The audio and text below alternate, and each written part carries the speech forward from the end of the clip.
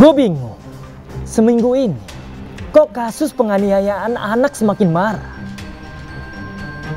Ironisnya, tempat penitipan anak yang seharusnya menjadi tempat yang aman, justru menjadi tempat yang menakutkan. Gak ada cara lain.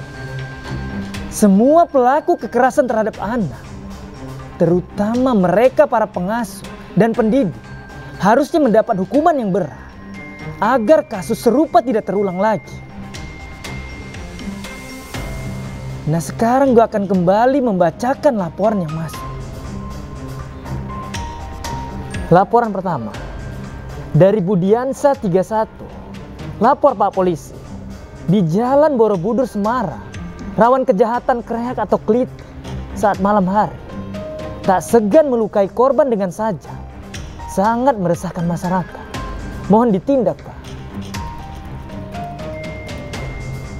Laporan selanjutnya dari Nindi 40. Lapor Pak Polisi. Geng motor konvoy menggunakan knalpot bro membuat resah warga di jalan Kabupaten Langkat, Sumatera Utara. Seringkali juga membuat keributan. Mohon ditertibkan, Pak.